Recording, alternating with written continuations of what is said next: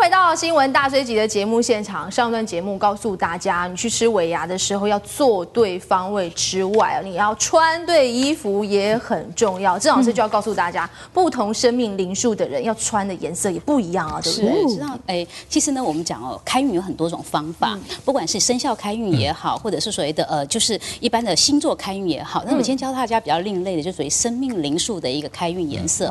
那其实很简单，就是西洋的呃，我们讲生日数字加起来。嗯，那举个例子来说哈，假设你是呃一九七二年，那么六月十七号生的朋友，那么就是一加九就是等于呃十，那么再加七就十七，嗯，啊再加二就十九。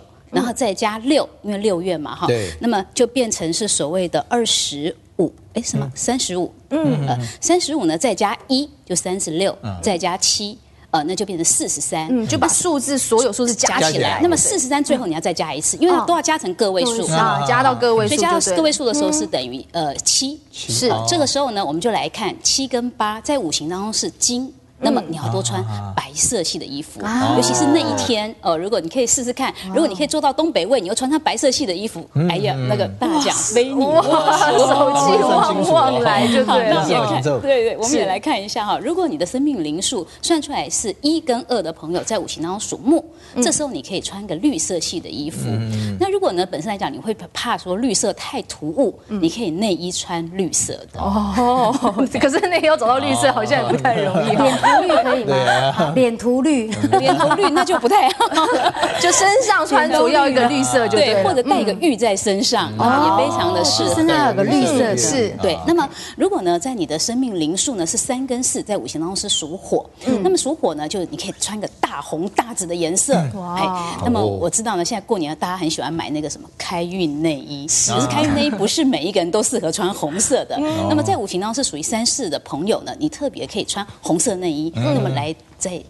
找到我们讲的东北味。是，那么是很旺的一个呃方位哦。那么再来看，如果你的生命灵数是五跟六，那么在五行当中是属土的，嗯，这时候呢，你可以大胆的穿金黄色系，像老师今天的香槟金也可以试试看，大地色、大地色系，对，是。那么呃，刚刚讲过七跟八属金，就是多穿白色系。但如果你要戴个钻戒也可以，那好，你稳稳弹稳钻嘛哈。但是有人说，对，有人说，那如果说我在呃我的生命灵数是九零。是属水喽，那是不是带个蓝钻会比较好一点？可是呢，蓝钻有蓝钻的谐音，所以呢，拍弹，对，所以呢，所以呢，诶，我建议如果大家要抽尾牙，不要带个。蓝钻，啊，就拍弹，还是比较好的。对，要把老师刚刚是提醒的，就你赶快算算你的生命灵数，这个颜色穿着是不一样的。所以如果景文的话，哈，我不晓得他的生命灵数是几，但是如果他穿了这一个今天的色系，蓝色跟所谓的黑色的话，呃，如果他的生命灵数不属于九零，那么他可能好了，对，抽不到大奖。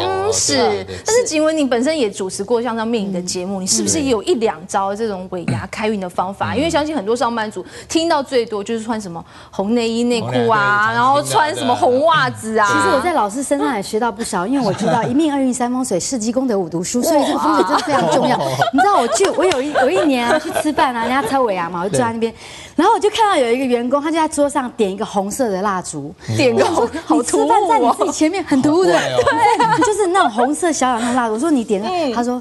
这是光明灯，然后他把他们公司最大奖写在那个蜡烛的底下压着。他说他点光明灯，然后还有就是那种他把去年公司抽到最大奖那个人的名字写用白色。的呃纸条啊，是写在自己的脚底下，把它踩在地下。那他今年不能抽到大奖，这样他就有机会了。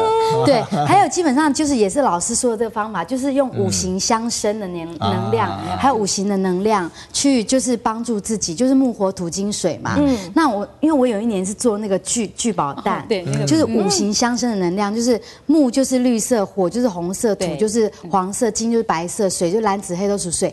你就拿那个五个颜色。的豆子，或者是五种颜色的水晶，把它放在一个小的包包里面，哇，然后它就会就是能量聚集。我觉得这个也还蛮有用。对，其实那个景文做的那个聚宝蛋啊，其实呢有好多商家哦，他们都会在那个收银机摆上这个东西。对对对。对，据说有招财的作用。是哎，所以哦，在尾牙当天哦，不管你是要穿这个红衣裤、红红衣裤哦，或者是说你要穿一些，比如说点一些这样的红蜡烛啊，或者是现在赶快去财神庙来拜拜。来之外，还有就像刚刚老师提醒的，你可能在尾牙宴上面要挑个好位置，要穿对颜色的衣服。但是不管如何啊，我们要先在这里祝福大家，这一个年终奖金赚饱饱，尾牙大奖通通包，是不是要祝大家好运旺旺来喽？感谢今天三位来到节目当中，也感谢你的收看。下个星期请持续锁定新闻大追击，我们再会。